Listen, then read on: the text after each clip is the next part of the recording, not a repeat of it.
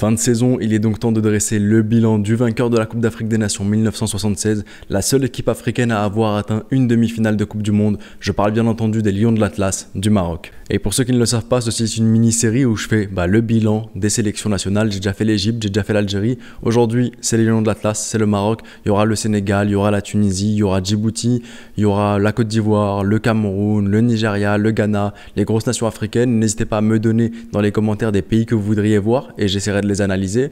Et il y aura aussi, je commence à réfléchir à des nations qui ne seraient pas africaines, le Brésil, le Portugal, la France, l'Argentine, etc., etc.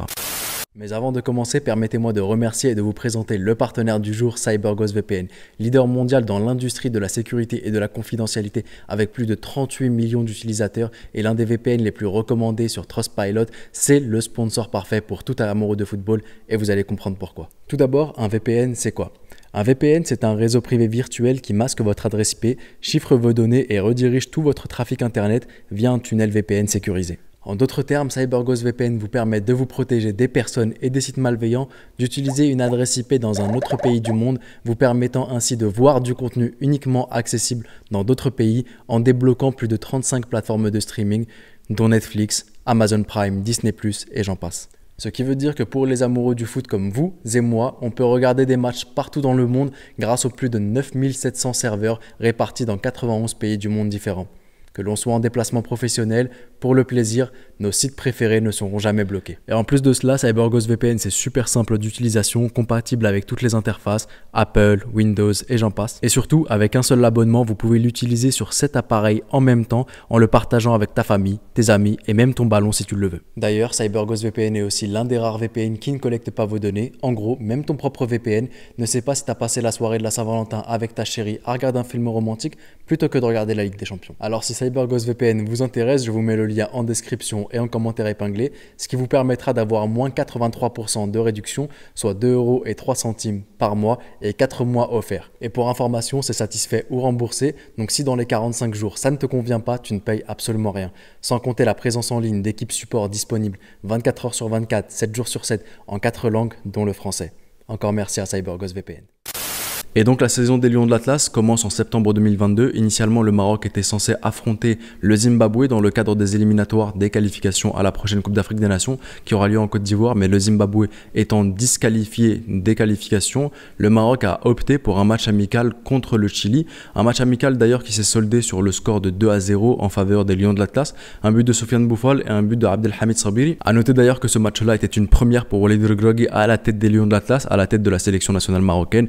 Ce match-là marque le retour de certains joueurs. Ce match-là marque aussi l'ajout de nouveaux joueurs dans l'effectif, des joueurs que Walid, que pardon, a pu entraîner lorsqu'il était entraîneur du Wydad et lorsqu'il a remporté la Ligue des Champions de la CAF. On regarde la composition de départ. On a donc un 4-3-3 avec euh, Yassine Bounou au cage, incontestable. Ashraf Hakimi en arrière droit, charnière centrale Ashraf Derry, le joueur qui jouait au Wydad, qui a remporté la Ligue des Champions de la CAF, qui avait fait une, une saison incroyable avec le Wydad. Il est ici, aux côtés de Romain Saïs. Et ensuite, Noussair Mazraoui en tant que défenseur gauche, en tant qu'arrière gauche. Au milieu de terrain, il y a des joueurs que Vahid Alilozic utilisait, Sofiane Amrabat notamment, Amallah aussi, on a Ounahi. Ce que j'ai aimé avec ce milieu de terrain-là, c'est qu'il était complémentaire et avec des profils différents. Ce que je pouvais reprocher parfois à Vahid, c'est qu'il utilisait des milieux de terrain qui avaient le même profil, des milieux de terrain qui ne prenaient pas la profondeur, des milieux de terrain qui avaient le même registre de jeu, des milieux de terrain qui faisaient exactement la même chose. Donc tu n'avais pas de la variété au milieu de terrain, ce qui, n'est pas le cas dans cette composition-là et dans ce 11 avec lequel Walid Regrogui a disputé son premier match. Trio d'attaque, Hakim Ziyech qui marque son retour, Youssef Nessiri et enfin, et enfin pardon, Sofiane Bouffal. Donc c'est vraiment une composition intéressante, c'est une composition qui est déjà une sorte de composition type pour le Maroc. Il y aura quelques petits ajustements parfois, par exemple Naïf Aguerd qui prendra forcément la place d'Ashraf Deri, mais dans l'ensemble, c'est avec cette composition-là que Walidir Grogui va jouer sa partition durant une très très longue partie de la saison et notamment durant la partie la plus importante de la saison. Deuxième match maintenant de Walidir Grogui, c'est 4 jours après le match face au Chili, c'est 4 jours après la victoire face au Chili. Le Maroc affronte le Paraguay c'est le 27 septembre 2022. Le Maroc fait match nul et dans ce match-là, Walid El utilise exactement la même euh, ligne de 5 gardiens plus les défenseurs. Il fait juste quelque chose d'assez intéressant, c'est qu'il fait passer Noussair Mazraoui en tant que défenseur droit et Ashraf Hakimi en tant que défenseur gauche. Pour le coup, j'ai pas trouvé ça très très concluant lors de ce match-là et je préférais quand Noussair Mazraoui était arrière gauche et quand Ashraf Hakimi était arrière droit.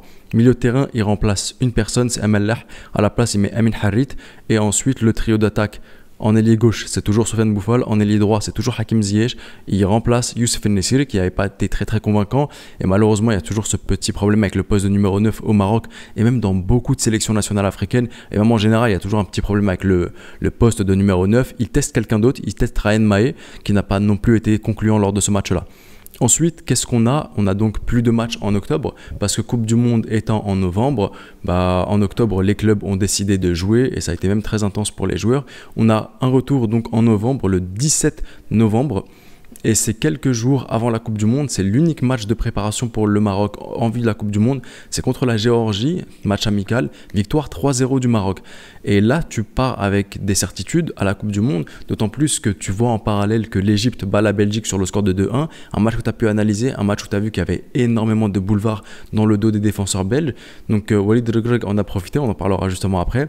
On a un but à la cinquième minute de Youssef Nessiri. Moi qui vous disais qu'il y a un problème de numéro 9, Youssef Nessiri répond présent. Hakim Ziyech à la 29e répond présent aussi. But et un but de Soufiane Boufal à la 72e minute. Composition de départ, on a au cage Yassine Bonou en défenseur droit, arrière droit, Ashraf Hakimi. Charnière centrale, marqué par le retour de Naïf Aguerd aux côtés de Romain Saïs, défenseur gauche, arrière gauche, Yahya Atiyatallah, qui marque une première sous Walid Regrog, un joueur qu'il a entraîné d'ailleurs lorsqu'il était coach du Wydad Casablanca.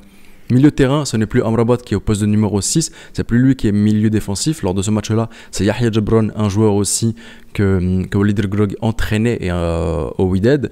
Donc c'est euh, Jabron pardon, qui est lui au poste de milieu défensif. Les milieux relayeurs, les deux numéros 8, on a Unahi et Amallah. C'est vraiment le milieu relayeur, les deux numéros 8 qui sont les plus complémentaires et qui sont les meilleurs en sélection nationale marocaine.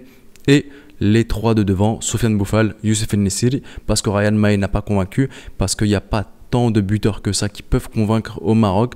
Et ensuite, Hakim Ziyech toujours sur son aile droite. Et le Maroc ouvre donc son bal en Coupe du Monde contre la Croatie le 23 novembre 2022, score 0 à 0, un match dont j'avais fait le débrief et un match dont j'étais pas très satisfait. Parce que certes le Maroc sur le papier face à un dernier finaliste de la Coupe du Monde face à la Croatie, un gros et la Croatie nous l'a montré en éliminant le Brésil, en atteignant les demi-finales de la Coupe du Monde, mais pour moi ce match-là il m'avait un peu frustré quand je voyais même la réaction de certains supporters être refait complètement, parce que j'estimais que le Maroc était devant la Croatie durant ce match-là. Le Maroc tactiquement était meilleur que la Croatie, le Maroc s'était procuré plus d'occasions et le Maroc pouvait remporter le match sur un 2-0 par exemple. Composition de départ, c'est là qu'on constate que Walid El lors de ses matchs amicaux, avait fait certains changements, essayé de trouver son 11 type de départ. C'est le 11 type qu'il articule durant ce match-là composé de Yassine Bounou au cage, défenseur droit Ashraf Hakimi, charnière centrale Naïfa Guerd aux côtés de Romain Saïs, Noussaïr Mazraoui en défenseur gauche, numéro 6 milieu défensif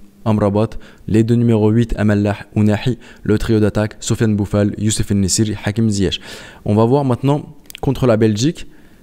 Quatre jours plus tard, le 27 novembre 2022, le Maroc à sa première victoire lors de cette Coupe du Monde, 2-0 face à la Belgique, avec un but qui avait d'abord été refusé pour Hakim Ziyech. Lavar avait dit que c'était un but euh, bah, refusé pour le coup. De mémoire, je crois que c'était le but où il y avait quelqu'un qui masquait Thibaut Courtois. Bah, en tout cas, le Maroc a ensuite ses deux buts. Le but de Romain Saïs sur le coup franc de Sabiri et ensuite le but de Zakaria Boukhlel à la toute fin de match.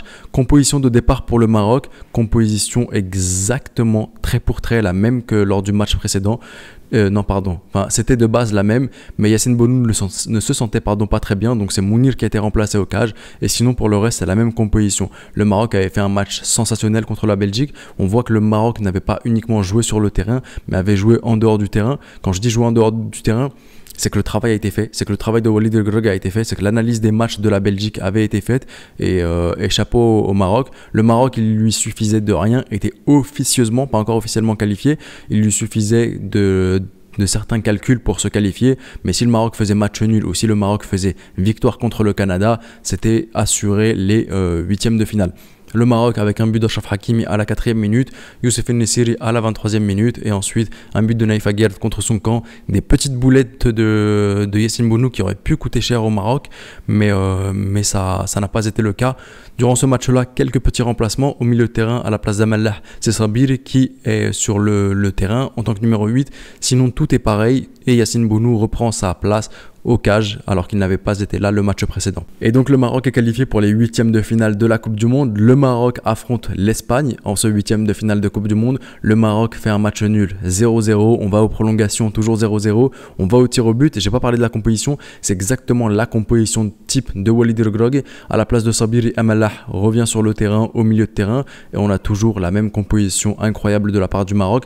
Match d'ailleurs avec 77% de possession pour l'Espagne, 23% pour le Maroc. Ça montre que le Maroc a su rester solide. Ça montre que le Maroc n'a pas craqué durant les 120 minutes jusqu'au tir au but. Ça montre que parfois il faut aussi savoir jouer avec ses armes. L'Espagne est peut-être beaucoup meilleure dans le jeu. L'Espagne a un jeu beaucoup plus fluide que celui du Maroc. Mais le Maroc a su jouer avec ses armes et c'est ce qui était intéressant pour moi durant ce match-là. Ensuite, tir au but. Et le Maroc, bah, étant pour moi l'une des meilleures nations du monde en tir au but avec un gardien juste sensationnel. Il suffit d'aller regarder l'Europa League pour voir à quel point Yassine Bonou est sensationnel en séance de tir au but. Et je pense que euh, personne n'en doute en tout cas. Le Maroc gagne avec zéro but marqué pour l'Espagne. Je crois que c'est une première, j'avais jamais vu ça de ma vie. Et le Maroc se qualifie donc pour la première fois de son histoire en quart de finale de Coupe du Monde et ils affrontent donc le Portugal de CR7. Un Portugal qui a d'ailleurs fait sensation contre la Suisse, qui a mis mais un tarif comme pas possible et c'est un Portugal qui vient et qui fait peut-être peur à certains, mais le Maroc n'a pas peur, le Maroc n'a absolument pas peur parce que le match se solde sur le score de 1-0 avec un magnifique but de la tête de Youssef Nessiri, Youssef Nessiri que j'avais critiqué, il a su me répondre et il a su donner la demi-finale à sa nation, à son pays, au Lion de l'Atlas, sur un magnifique centre justement de Yahya C'est là qu'on vient à la composition de départ, c'est là où il y a quelques petits changements, notamment en défense, qui coûteront très très cher ensuite au Maroc lors de la demi-finale.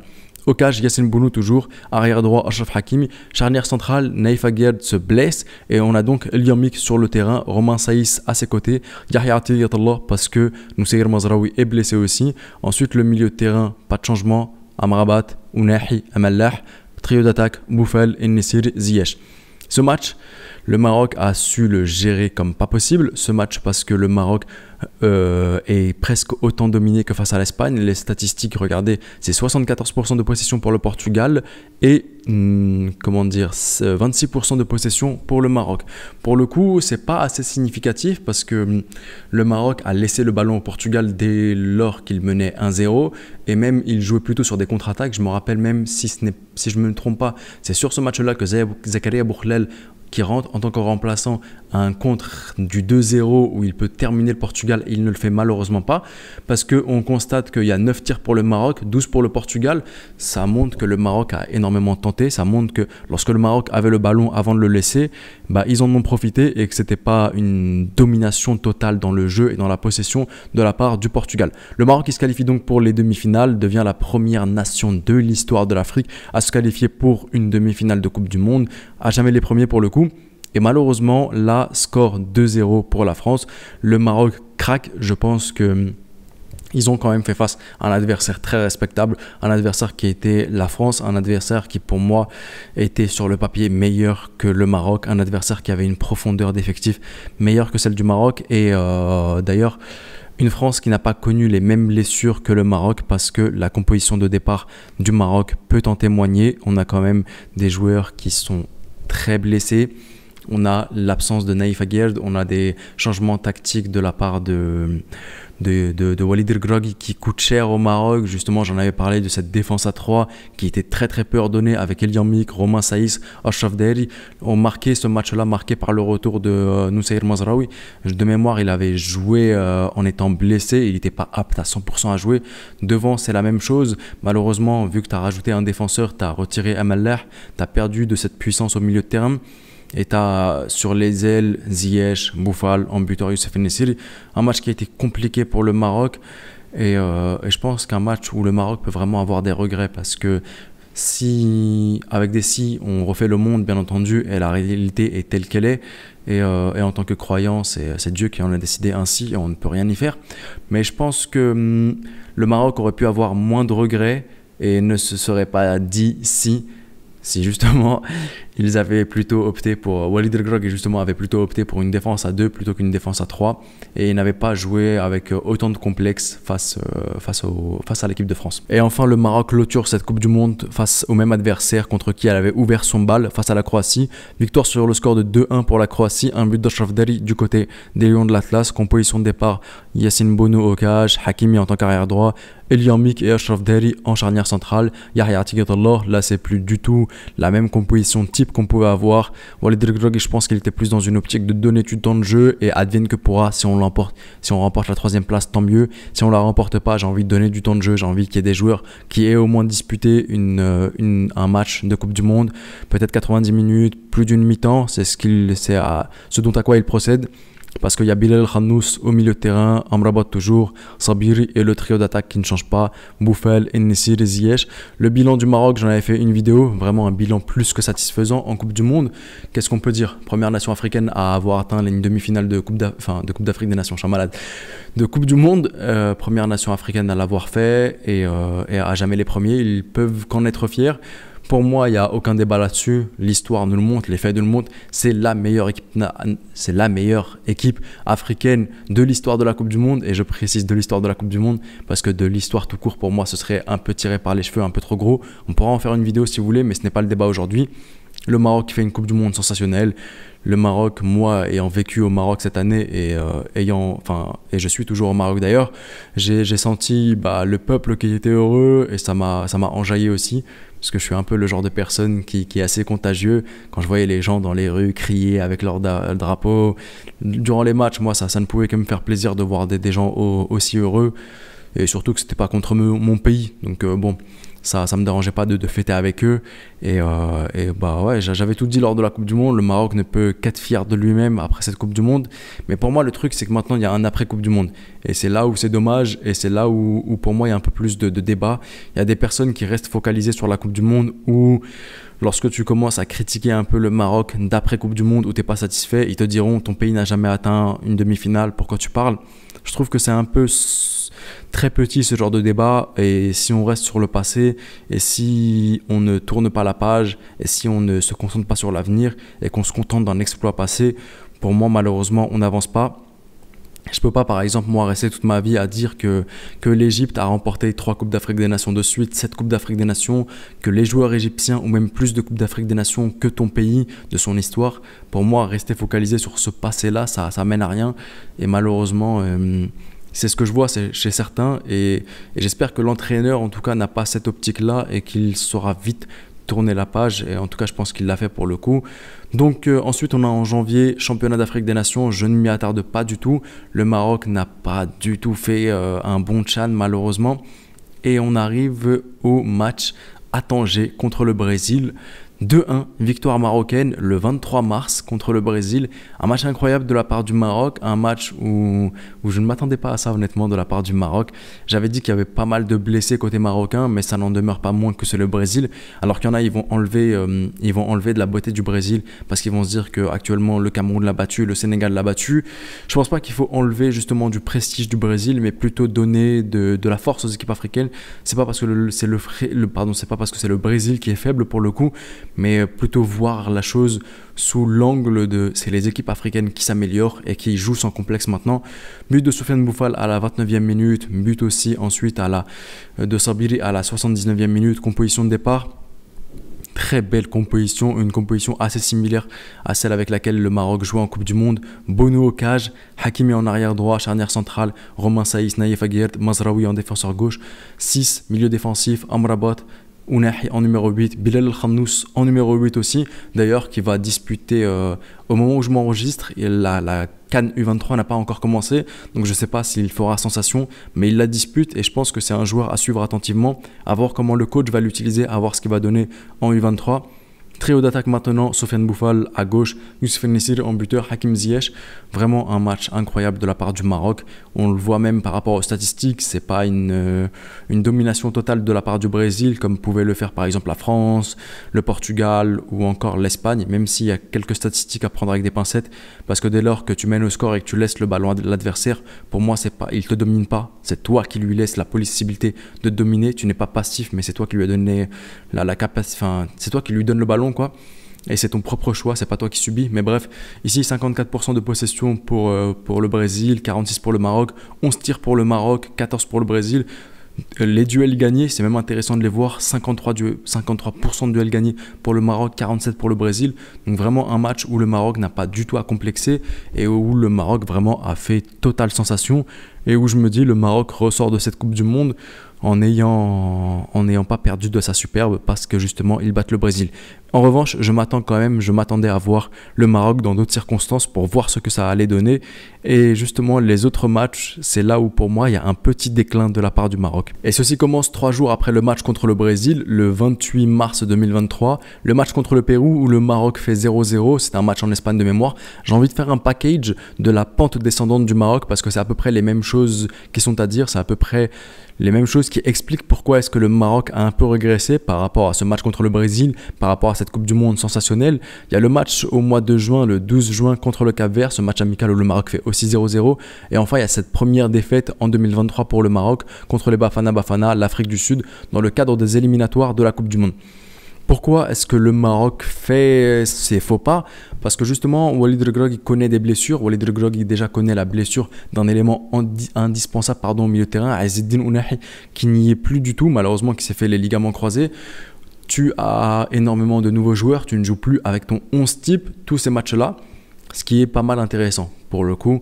Il y a peut-être euh, cette pente descendante du Maroc, mais c'est pas mal intéressant parce que tu essayes d'avoir des doublures, tu essayes de voir sur qui tu pourras compter en Coupe d'Afrique des Nations, à la prochaine Coupe d'Afrique des Nations, aux éliminatoires de la Coupe du Monde. Tu essaies de tester de nouveaux joueurs parce que si un jour il y a un de tes éléments indispensables qui est blessé, mais qu'il y a des joueurs qui n'ont pas porté le maillot de la sélection, qui n'ont pas été mis en condition en sélection nationale, c'est toujours très très grave ce genre de choses.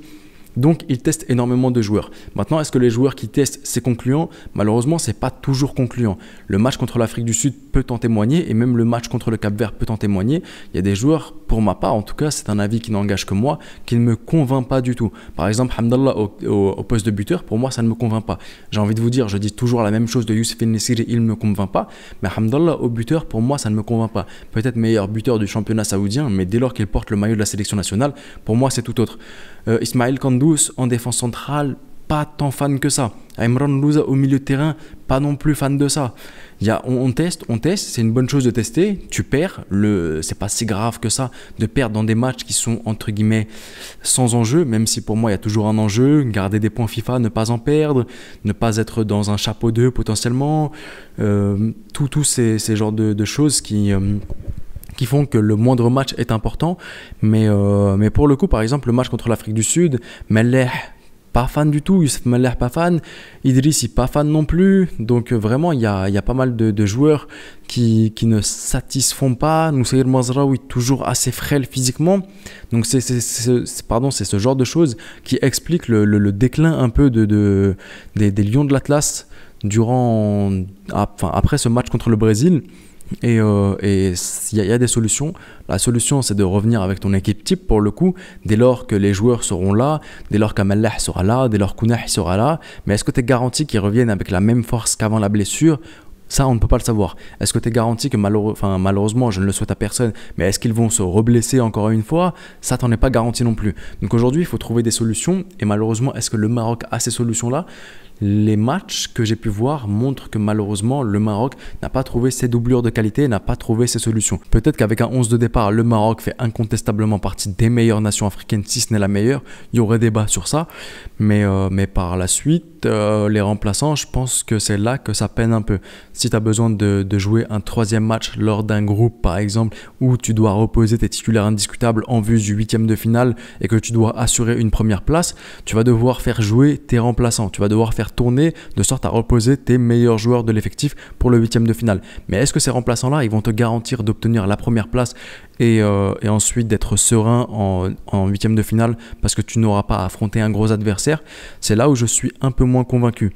Si tu veux assurer ta première place, tu vas donc devoir faire jouer peut-être tes meilleurs joueurs, donc les fatiguer pour la suite de la compétition. C'est là que ça devient un peu plus compliqué. Walid Grog, je pense qu'il a encore du travail. Sur le 11 de départ, pour moi, le Maroc, il n'y a absolument pas de travail à faire. Si le 11 de départ revient avec des joueurs qui sont en forme, comme lors de la Coupe du Monde ou contre le Brésil, pour moi, le Maroc n'a pas à s'en faire. Le Maroc a plutôt à s'en faire si en cours de compétition, tu as des joueurs qui se blessent. Et si c'est ce qui est malheureusement le cas pour la plupart des équipes en cours de compétition. On connaît toujours des blessures. Et si ça venait d'arriver au Maroc, malheureusement, il faudrait avoir les doublures de qualité. Et je pense que pour le coup, les doublures qui ont été montrées lors de ces trêves internationales, lors de ces matchs-là, n'ont pas été convaincantes. Et donc pour en conclure avec le bilan de la saison du Maroc, on est à 14 matchs joués pour le Maroc, 7 victoires. J'ai compté, la enfin, j'ai compté le match contre l'Espagne comme étant une victoire et pas comme étant un match nul, même si ça pourrait être un match nul vu que score 0-0 et on doit aller au tir au but, mais je le considère comme étant une victoire. On a 4 matchs nuls et 3 défaites pour le Maroc, un total de 14 buts marqués euh, et 8 buts encaissés. Ouais. 14 buts marqués, 8 buts encaissés pour le Maroc. Le bilan général de la saison pour moi, c'est une première partie de saison jusqu'au match contre le Brésil incontestablement où le Maroc fait pour moi un 10 sur 10. Il n'y a absolument rien à dire là-dessus. Le, la demi-finale de Coupe du Monde, le parcours en Coupe du Monde qui est sensationnel, qui est incroyable. La première nation de l'histoire africaine à le faire. Mais ensuite, malheureusement, ce qu'il y a après, c'est pour moi un peu moins bien pour le Maroc. Ce match contre le Pérou, ce match contre le Cap Vert, où tu es en position dominante et où, par exemple, j'ai plus l'impression de voir l'Espagne, euh, pardon, oui, le Maroc comme l'Espagne et euh, le Cap Vert, par exemple, ou le Pérou comme le Maroc, où c'est des adversaires qui sont bien largement à la portée du Maroc, comme, enfin, comme le Maroc était entre guillemets à la portée de l'Espagne, mais où ces équipes-là arrivent à, donner du fil à retordre au Maroc justement, à l'équipe qui est un peu plus forte. Donc cette, cette partie, enfin ces trois matchs-là, et même cette défaite contre l'Afrique du Sud, fait pour moi perdre quelques petits points au Maroc parce que tu te rends compte que il y a quelques petites lacunes, il y a quelques petites failles. Ce que tu testes n'est malheureusement pas bon. Hakim Ziyech au poste de numéro 10 en milieu de terrain, c'est pas si concluant que ça. Il est meilleur sur l'aile. Trois matchs de suite, tu, fais ce Hakim Ziyech au milieu de terrain, ça convainc pas. Tu as l'air assez obstiné de toujours commencer avec ça en plein match. Donc ce genre de, petits trucs sur lesquels je chipote, mais c'est comme je vous ai dit, je ne reste pas focalisé dans le passé et je pense que c'est la, la meilleure chose à adopter. Je ne vais pas commencer à dire non, le Maroc c'est sensationnel, pour la comment dire pour cette demi-finale de Coupe du Monde, je vais en oublier tout tout ce qui ce qu'il y a après. La vie ne s'arrête pas à la Coupe du Monde, la vie n'a pas commencé à la Coupe du Monde enfin la saison plutôt n'a pas commencé à la Coupe du Monde, elle ne s'arrête pas à la fin de la Coupe du Monde. Donc c'est pour ça que pour moi, si je devais donner une note générale du Maroc, je donnerais un 8,5, 9 sur 10. J'enlève un point pour ce que je vous ai dit, le Pérou, le Cap Vert ainsi que l'Afrique du Sud. Mais dans l'ensemble, pour moi, c'est quasiment un sans faute. Et rien que ce parcours en Coupe du Monde, bah pour moi, ça ne peut pas, je ne peux pas donner moins que ça pour le Maroc. Euh, vraiment, c'est bien entendu subjectif parce que je sais qu'il y en a vraiment, ils sont pas d'accord dans l'espace commentaire. Ça ne concerne que moi, ce n'est que mon avis. Vous avez le droit de, ne pas être d'accord avec moi. Faites-le moi savoir, bien entendu dans le respect. Je pense que la langue française, même la langue arabe, je parle plusieurs langues, sont des langues extrêmement riches, avec beaucoup de mots, avec une richesse infinie. Donc vous pouvez employer pas mal de mots qui sont très polis, très respectueux pour donner un avis. Je, je vous répondrai et je parle toujours de façon très respectueuse, donc n'hésitez surtout pas à le faire. Et si c'est pas respectueux, forcément, bah, vous êtes euh, commentaire supprimé ou s'il y a de l'injure, de l'insulte vis-à-vis de n'importe qui, vous êtes bloqué de la chaîne. Donc c'est vraiment dommage pour vous et ce n'est que du foot avant tout. Et, euh, et je pense qu'il y a plus important dans la vie. Si je me trompe sur du foot, c'est pas aussi grave que si je me trompe dans mes études. Si vous trompez sur du foot, c'est pas aussi grave que vous trompez avec votre famille, vos amis, vos études ou quoi que ce soit. vraiment, c'était le petit message de fin comme ça. Bref, j'espère que la vidéo vous aura plu, j'espère que le bilan vous aura plu. N'hésitez pas, vous, bah, forcément à me donner votre bilan dans l'espace commentaire. C'était le petit pharaon, prenez soin de vous et de vos proches et je vous dis...